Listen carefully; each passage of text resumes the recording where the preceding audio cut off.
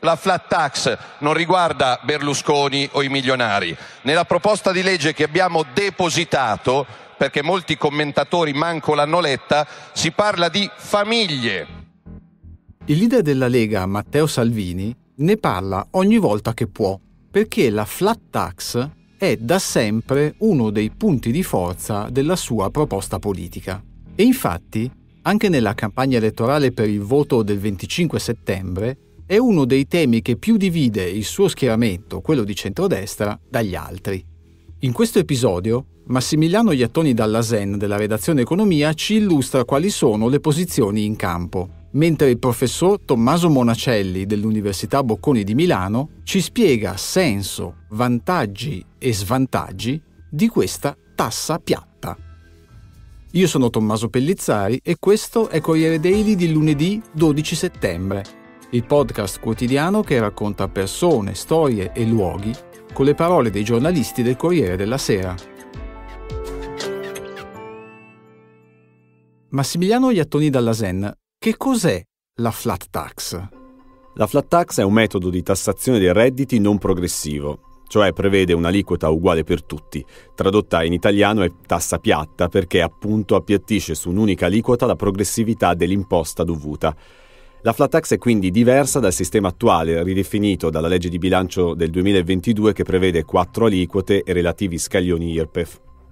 E questo in sintonia va ricordato con quello che prevede la nostra Costituzione, che all'articolo 53 dice che l'imposta che i cittadini sono tenuti a versare allo Stato deve essere proporzionale all'aumentare della loro possibilità economica. In altre parole, l'imposta deve crescere con il crescere del reddito. Questo dunque tecnicamente non avviene con la flat tax che in qualche modo in Italia già esiste. È vero, la flat tax già esiste in Italia, ma si applica soltanto alle partite IVA, che hanno ricavi inferiori ai 65.000 euro. Queste possono rientrare nel regime forfettario al 15%, che scende addirittura al 5% di aliquota per i primi 5 anni se si tratta di una nuova attività, questi contribuenti non pagano l'IRPEF, né l'IVA, né l'IRAP e non sono soggetti agli ISA, gli indici sintetici di affidabilità con cui l'Agenzia delle Entrate tenta di favorire l'assolvimento degli obblighi tributari e incentivare l'emersione spontanea dei redditi. Riassumendo, chi aderisce al regime forfettario versa una tassa unica, è soggetto cioè a una sola imposta sostitutiva del 15% che assorbe tutte le altre tipologie di imposte generalmente pagate in contabilità ordinaria. Sono esclusi invece i contributi INPS, che si continuano a versare secondo la propria attività con le aliquote previste dal proprio regime previdenziale. Per capire l'origine e il senso della flat tax, Francesco Giambertone è andato dal professor Stefano Monacelli, che all'Università Bocconi di Milano insegna macroeconomia e che, per prima cosa, di questo tipo di tassa racconta l'applicazione in paesi meno al centro dell'attenzione.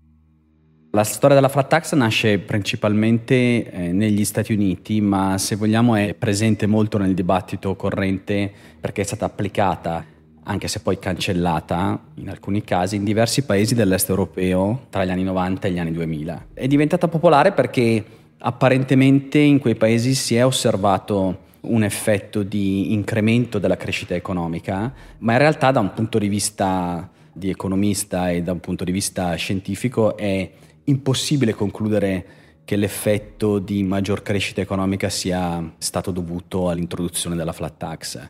Il professor Monacelli lo spiega con un esempio. Un caso scuola tipicamente è la Slovacchia, che ha introdotto la flat tax nel 2004, poi l'ha cancellata nel 2013, ma nel 2004 contemporaneamente la Slovacchia è anche entrata nell'Unione Europea Certo, la crescita economica è aumentata molto in Slovacchia, fino al 10% di crescita del PIL, la disoccupazione è calata dal 20 al 10%, ma l'ingresso nell'Unione Europea ha voluto dire un'enorme espansione dei mercati, di accesso ai mercati, al commercio internazionale per la Slovacchia e tutta un'altra serie di riforme di liberalizzazione dei mercati, di apertura agli scambi, eh, di riduzione del costo del lavoro, eccetera, sono state introdotte contemporaneamente e quindi scientificamente poter dire che gli effetti su disoccupazione e aumento della crescita economica siano stati dovuti alla flat tax è impossibile e non abbiamo studi puliti che ci possano dire che la flat tax in sé possa condurre ad una maggiore crescita economica. Quello che invece per il professor Monacelli è certo è un altro effetto della flat tax. Inevitabile è l'effetto di incremento della disuguaglianza. La flat tax significativamente riduce il grado di progressività del sistema fiscale. E questo effetto può essere corretto introducendo ampie zone di esenzione, per cui dipende anche moltissimo da come il meccanismo in generale della flat tax viene disegnato, quanto è ampia la zona di esenzione e qual è il livello dell'aliquota unica, 15%, 20%, 30%, ci sono paesi in cui la flat tax unica è stata introdotta anche al 45%. Ecco. Il punto, secondo il professor Monacelli, è che la flat tax finisce direttamente ma anche indirettamente per arricchire chi è già più ricco.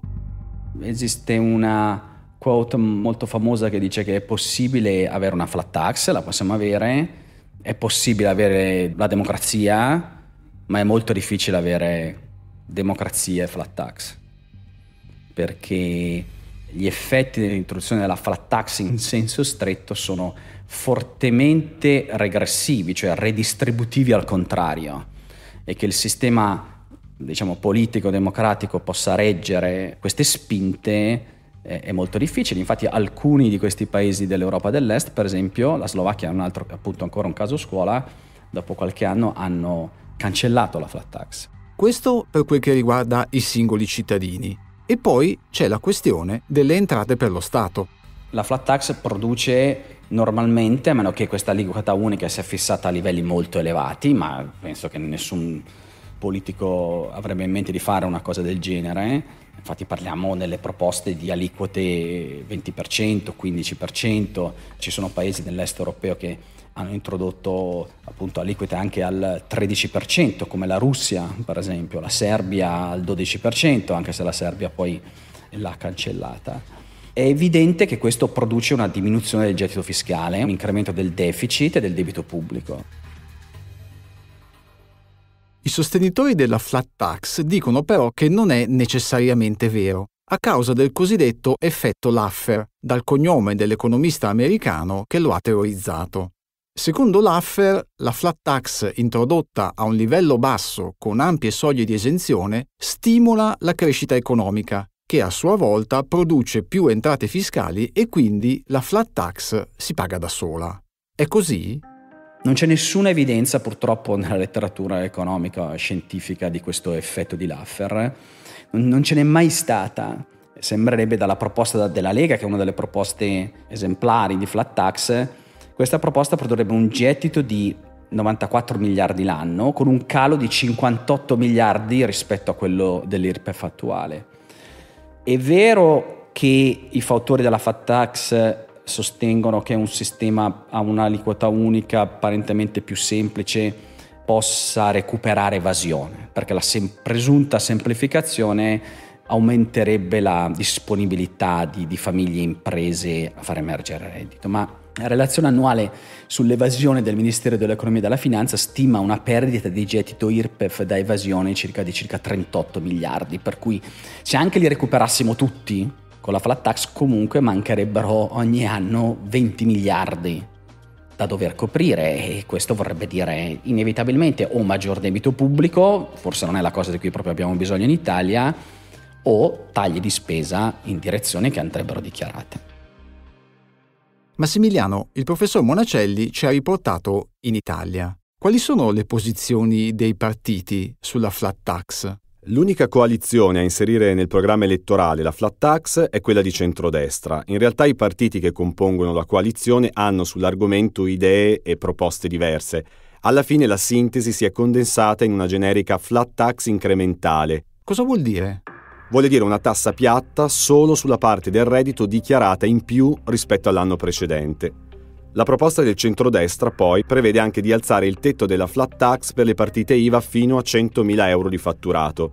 Di fatto, se vogliamo, questa è in prevalenza la proposta di Fratelli d'Italia, perché Forza Italia ha sempre parlato di una tassa piatta, unica per tutti, al 23%, cioè l'aliquota più bassa dei quattro scaglioni IRPEF introdotti dalla riforma del governo Draghi. Come si sa, invece, la Lega da anni propone un'aliquota unica al 15%. Il DDL Siri, con cui la Lega presentava la sua flat tax al 15% nel 2020, ha introdotto una sorta di clausola di salvaguardia, in modo tale che i redditi più bassi, che godono di detrazioni, non le perdano. Guardando agli altri schieramenti, il PD punta sulla totale decontribuzione delle assunzioni stabili per gli under 35. I 5 Stelle insistono su super bonus e cashback. Il terzo polo propone detassazione completa fino ai 25 anni e al 50% fino ai 30.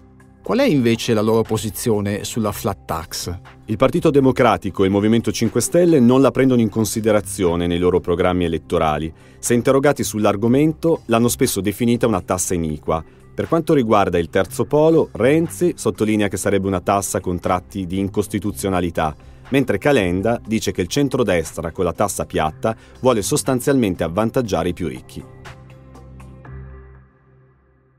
Grazie Massimiliano Iattoni Dallasen e Tommaso Monacelli. Oggi finiamo qui.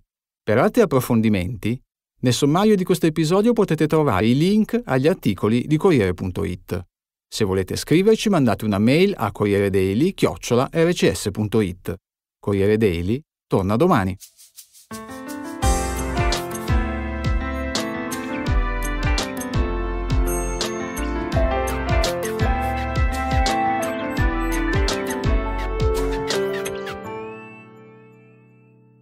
Corriere Daily è il podcast quotidiano del Corriere della Sera a cura di Tommaso Pellizzari. In redazione Francesco Giambertone. Produzione di Carlo Annese. Editing audio di Giulia Pacchiarini. Montaggio di Federico Caruso e Giacomo Vaghi.